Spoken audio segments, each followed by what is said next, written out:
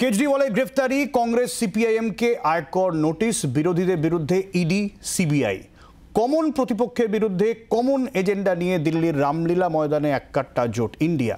দেশে বিভাজন তৈরির চেষ্টা পাল্টা বিজেপির। দিল্লির ঐতিহাসিক রামলীলা ময়দানে বিরোধী জোটের যে মহাসভার আয়োজন করা হয়েছিল, তা শেষ হলো কয়েকটি রেজলিউশন দিয়ে। বিরোধী শিবিরের প্রায় সবকটি রাজনৈতিক দলই মোদী বিরোধী আজকের এই সভায় যোগ দিয়েছিল। সেখানে একদিকে যেমন অরবিন্দ কেজরিওয়ালের গ্রেপ্তারির প্রতিবাদ করা হলো, পাশাপাশি কয়েকটি বিষয়ে সিদ্ধান্তও গ্রহণ করা হলো। ইন্ডিয়া জোট আরও জোটবদ্ধ হলো। উল্লেখযোগ্যভাবে তৃণমূল কংগ্রেসের দুই নেতা আজ উপস্থিত হয়েছিলেন, ডেরেক ব্রায়েন এবং সাগরিকা ঘোষ। তারা জানালেন, ইন্ডিয়া জোটে তৃণমূল কংগ্রেস এবং মমতা বন্দ্যোপাধ্যায় ছিলেন, আছেন এবং থাকবেন।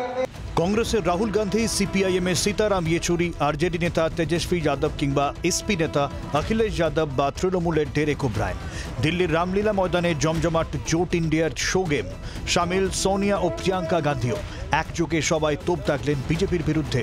জোটে থাকার বার্তা তৃণমূলের। The all India Trinamool Congress is very much, was is and will be part of the India Alliance. This is a fight. BJP versus democracy পাশাপাশি রাহুল গান্ধী তিনি তোপ দাগলেন নরেন্দ্র মোদীর বিরুদ্ধে ম্যাচ ফিক্সিংয়ের। নির্বাচন ঘোষণার পরে ম্যাচ ফিক্সিং করার চেষ্টা চলছে আর সেই ম্যাচ ফিক্সিংয়ের মাধ্যমেই চারশো আসন পাওয়ার লক্ষ্যমাত্রা নির্ধারণ করেছে বিজেপি এমনটাই অভিযোগ তুললেন রাহুল গান্ধী। নরেন্দ্র মোদীজি ইস চুনাও মে मैच फिक्सिंग करने की कोशिश कर रहे हैं। ये जो उनका 400 सीट का नारा है,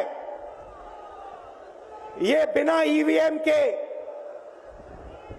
बिना मैच फिक्सिंग के, बिना सोशल मीडिया और प्रेस पर दबाव डालकर, खरीदकर, ये 180 पार नहीं होने जा रहा है।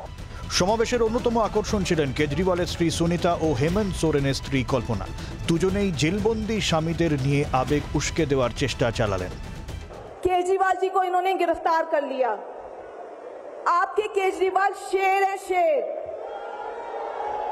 ये ये ज्यादा दिन तक उनको जेल में नहीं रख पाएंगे करोड़ों लोगों के दिल में बसते हैं केजरीवाल आज 31 मार्च है दो महीने पहले इसी दिन 31 जनवरी को हेमंत जी को जेल में डाला गया दो महीने से जेल में है अरविंद केजरीवाल जी पिछले 10 दिनों से जेल में है आज तक आरोप साबित नहीं कर पाए हैं कि किस लिए इतने दिनों तक उन्हें रखा गया है দেশ জোড়ার নয় ভাগাভাগির চেষ্টা চলছে তো বিজেপির তাদের দাবি গণতন্ত্র নয় এবঞ্চ দুর্নীতিবাদ বাঁচাও মঞ্চ आप देश बचाना चाहते हैं या आप देश का विभाजन करवाना चाहते हैं? आप देश में आग लगाना चाहते हैं और आप देश की संस्थाओं के प्रति डाउट पैदा किया, करना चाहते हैं।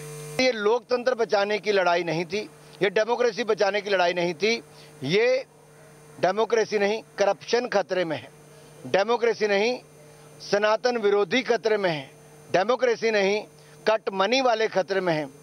डेमोक्रेसी नहीं कमीशन खोरी वाले खतरे में है और डेमोक्रेसी नहीं मैं कहना चाहता हूं ये कट्टर बेईमान जो मंच पे इकट्ठे हुए हैं, वो खतरे में है বিজেপি যাই বলুক বিরোধীদের বিরুদ্ধে ইডি সিবিআই বা আয়কর দপ্তরের ব্যবস্থা নেওয়ার বিষয়টি সামনে এনে গণতন্ত্র বনাম স্বৈরতন্ত্রের ন্যারেটিভই সামনে আনার চেষ্টা চালিয়েছেন জোট ইন্ডিয়ার সদস্যরা আজকের এই সভায় উপস্থিত হলেন রাহুল গান্ধী, প্রিয়াঙ্কা গান্ধী এবং সোনিয়া গান্ধী সহ সমস্ত বিরোধী শিবিরের তাবর নেতারা। ইন্ডিয়া জোট, জোটবদ্ধ অনেকটাই দিল্লির এই ঐতিহাসিক ময়দান থেকে তাদের জোটবদ্ধতা সামনে আনলো। নয়াদিল্লি থেকে ক্যামেরা শুভাশিসের সঙ্গে রাজীব চক্রবর্তী, জি চব্বিশ ঘণ্টা। বাংলার আওয়াজ, বাঙালির আবেগ, জি চব্বিশ ঘণ্টা।